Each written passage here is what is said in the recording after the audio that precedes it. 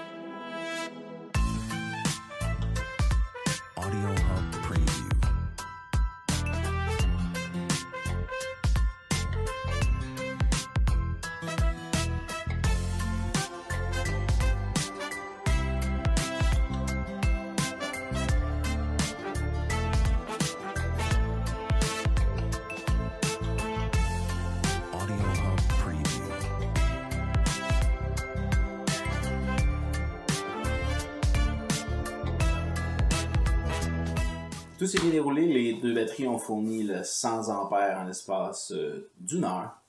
J'ai noté euh, quelques petites notes durant mon test. On va commencer par euh, la Maxli. On avait parti les deux batteries à 13.52 volts, 14 degrés de température interne. Présentement, dans la pièce où je suis, il fait 14 degrés. Donc, les deux banks étaient à 100%. La Maxli était à 100 degrés après 48 minutes pour un 17% d'autonomie. À 50 minutes, j'avais remarqué sur la Maxli que le voltage fluctuait beaucoup. On a fini la Maxli au bout d'une heure à 107 degrés. Elle a coupé à 11 volts euh, sur le Victron. Donc, euh, ce que j'ai fait aussi après, j'ai sorti les deux batteries à 11 volts. Je les ai amenées à mon camion qui est muni d'un compresseur 12 volts qui tire environ 17 ampères pour les baisser, pour voir si le, low voltage que fallait débarquer. Euh, comme promis, là, dans les deux spec sheets, je me suis un peu trompé au début avec le 11 volts. Euh, les deux promettent un 10.5 volts de déconnexion, je crois. Euh, les deux ont coupé environ à 10.38. là. Fait que c'est bien, bien, bien correct comme ça. La Voltium, la Voltium, on a commencé aussi 13.52 volts à 14 degrés, 100%. Après 48 minutes, cependant, elle était à 37 degrés Celsius pour un 13% d'autonomie au lieu du 100 degrés Celsius de la Maxli. On a fini à une finale de voltage. Ah oui, à 50 minutes, le voltage était quand même assez stable. On ne jouait pas de 3-4 degrés comme sur la Maxli. On a fini à une température de 44 degrés Celsius comparé à une température finale de 107 pour la Maxli. Euh, au niveau du, de, la, déconnexion du voltage, euh, Voltium euh, se met en, en mode alerte et vous envoie une alerte sur l'application. C'est écrit protection de la coupure du bas voltage.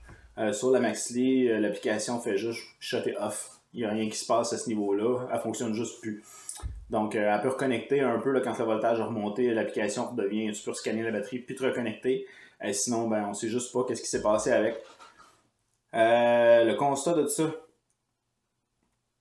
dans un environnement où il fait 14 degrés et qu'on atteigne des températures de 107, ça me dérange un peu. L'été, quand je me sers de ça dans ma vanne, euh, on passe la journée à la plage, on passe la journée en vélo, on vient, il a fait 50 dans la vanne toute la journée. Si on se fait souper, on va monter à. Là, c'est sûr qu'on est sur une batterie, c'est vraiment un. C'est un stress test, c'est un test de torture ce matin. Mais euh, les températures sont dérangeantes. Je sais pas si c'est la, la qualité des cellules, si c'est le placement des, des sondes qui peut y jouer pour beaucoup. C'est sûr que si on met une sonde est sur le BMS, ben, c'est ridicule parce que le BMS, c'est, un vrai petit euh, c'est un vrai petit heat pad, un vrai petit pad chauffant. Donc, euh, tirez-en vos conclusions.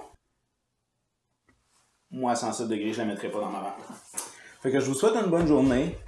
Puis euh, si jamais vous avez des questions, comme je vous ai dit, euh, je suis pas un YouTuber, rien. J'ai mis ça sur YouTube, question de référence, qu'on puisse la, garder dans le temps.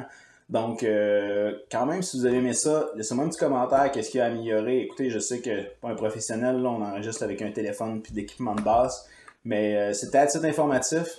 J'ai beaucoup aimé ça, il y en a d'autres qui s'en viennent probablement si ça vous intéresse. Donc, je vous souhaite une bonne journée. Bye bye tout le monde.